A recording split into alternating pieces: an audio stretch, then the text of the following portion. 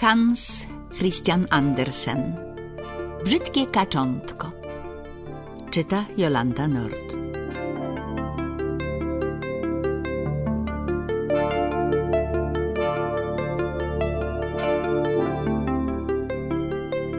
Pewnego pięknego, gorącego lata młoda kaczka wysiadywała jajka.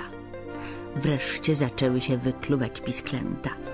Tylko jedno jajko, największe, nie chciało pęknąć. Kaczka była już zniecierpliwiona. Sąsiadka mówiła, że to na pewno jajko indycze i że przekona się o tym, jak piskle po wykluciu nie będzie chciało iść do wody. Wreszcie skorupka pękła i kaczka z całą gromadką powędrowała do jeziora. Kaczuszki świetnie radziły sobie w wodzie. I to największe, brzydkie, też pływało.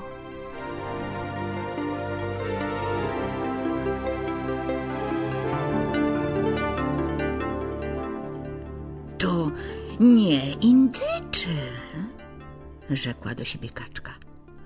Umie pływać. Jak jeszcze? Może najlepiej ze wszystkich?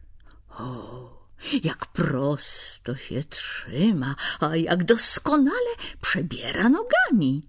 Mm, to moje własne dziecko. Nie jest ono nawet tak brzydkie, jeśli się dobrze przypatrzeć. Tylko troszkę za duże. No, bardzo za duże. Kwa, kwa, odezwała się znów głośno.